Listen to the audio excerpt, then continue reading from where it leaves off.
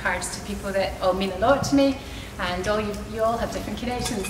So um, artist talk, it said uh, apostrophe S, so that would imply one, but actually it's two of us, so um, it should be S apostrophe, but we don't want to confuse people. but um, I'm uh, just starting off actually, he's got the book, and I have uh, this small sketchbook, travels with me everywhere. Um, so my intro really is just for Alan. He's my head of department. I've worked with him for, what, 18 years now? 17 years. And um, so really, uh, where am I coming from? So I just thought I'd just introduce what um, I'm about really. And it's all pretty simple. I've kind of, I kind of highlighted the keywords. And I start with this. It's all pretty simple. And it's just that I love to look. I really love looking. And it goes back to when I was a pupil at school um, in the art department, Debbie's here. I was his pupil with Debbie, wherever she is. I'm here. Yes. Um, and I remember I loved art at school, but I remember struggling with this composition. It was an imaginative thing, and everything went muddy, and it really wasn't going well. And I just, thought, oh, it's not good. And then I remember having a class test, and it was a big teddy bear. I remember it sitting in front of me, and and working, and suddenly it's like a door opened. I always remember this, and I enjoyed the test. How bizarre is that? You know, I enjoyed doing my art test um, because something emerged as I looked. Um, and it's not changed, that's where I'm at. It's as simple as that. I love to observe um, from the, directly from whatever it is. It could be a person, it could be a still life, it could be, um, and in this case it's the landscape. And that leads me on to, um, my job's changed here, I teach part-time here. And um, it's, it's opened a big door of having time back at home and I thought, gosh, does this mean now to be try and be an artist, whatever that means. Uh, battled with that, Alan's like, stop it. Um, am I an artist or not? And anyway, I walk the dogs every day and I would take the dogs out. Um, and before I got started, it was like half nine, ten o'clock, and I hadn't got into the studio and I felt bad and guilty and so then I thought, do you know, I love working outside, I love working from the source, I love to observe, just take my book out. So I started taking my book, my wee sketchbooks out with me, um, and then some bigger books, and, uh, and I would go with the dogs and I just start to, to work. Um, so that is really what you're seeing through there. It's, it's where I live, it's what I live and breathe, um, and I'm responding to that. Um, and it, it, if you read the blurb, you'll see what that's all about. And um, and Alan will go even deeper because I find it hard to put into words what I'm doing. But um, he, wrote, he wrote that blurb outside, and I was I read it like, yeah, that's what it is. That's what I'm doing. So um, I have so much to thank him for because he's um, believed in me. now I get emotional.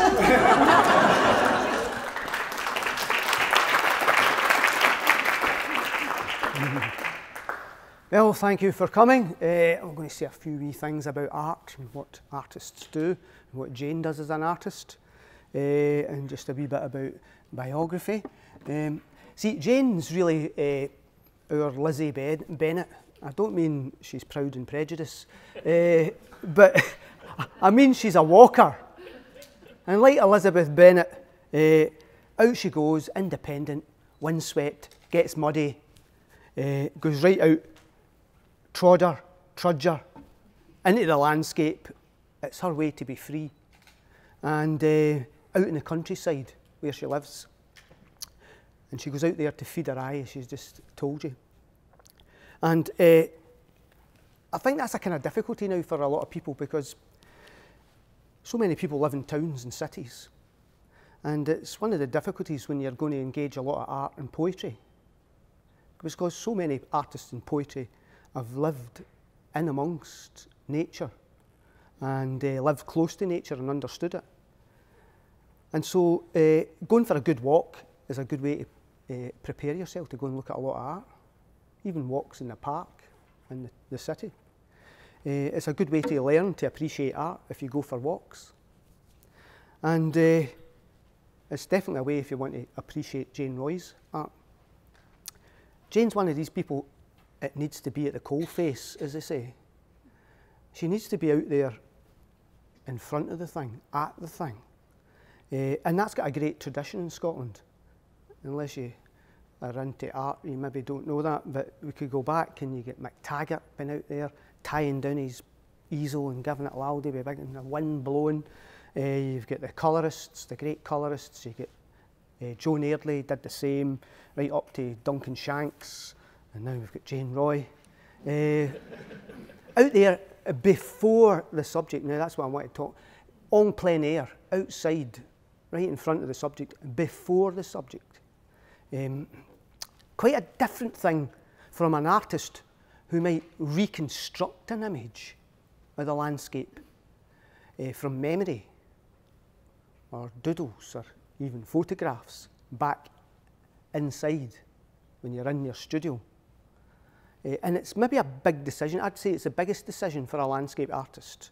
Uh, do you work directly before the subject?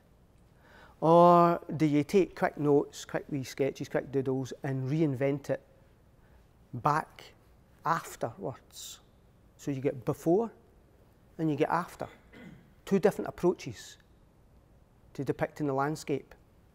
Uh, now, there's nothing wrong with you know, one or the other. You can do both. Van Gogh described the differences. I think I picked up his letters the other day and I started reading one. He says, and he's, he's writing about himself. It's true, I have retouched the whole to rearrange the composition a bit, to make the touch harmonious, but all the essential work was done in a single long sitting, and I changed them little as possible when I was retouching. And when I read it, I thought, oh, there's a wee trace of guilt here in his uh, confession. He's mixed up the before and the after, and he feels a wee bit guilty because he's more at home as a before man, right in front of the coal face. That's Jane. She's the same. Um, now, why would you make that decision? Well, it's affected by lots of different things. It's affected by your view of a relationship. Um, where do you stand in relationship to your subject?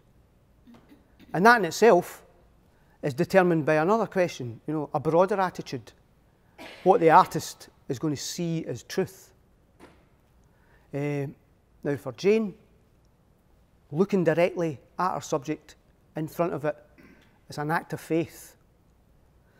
It's how our art gets informed and our eyes get informed.